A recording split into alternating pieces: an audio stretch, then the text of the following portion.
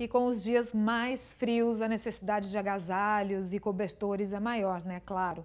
E para atender a demanda, a campanha do agasalho em Rio Preto distribuiu mais de 500 caixas para doações. Legal, né? E você pode ajudar a aquecer muitas famílias.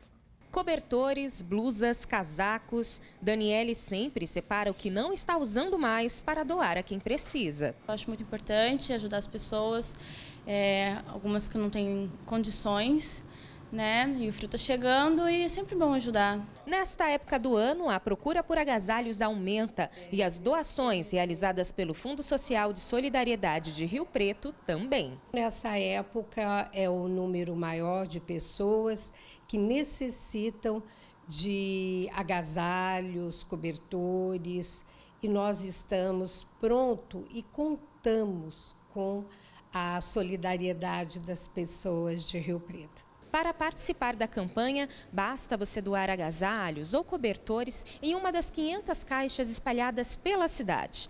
Todo o material arrecadado será encaminhado para instituições como esta, que atende mais de 100 moradores de rua por mês. Eles vêm, procuram tanto calçado como cobertores, edredons, agasalhos. Eles começam a procurar porque realmente o tempo muda durante a madrugada onde eles estão na rua. Locais como a Prefeitura de Rio Preto e a Câmara Municipal também são postos de arrecadação durante toda a campanha, que vai até o dia 31 de julho. De repente a moda já passou, aquela cor de repente não está mais na moda, mas para quem está em situação de rua, não está preocupado com a moda está preocupado com a necessidade dele de se aquecer. Missão cumprida. Espero poder ajudar muitas famílias.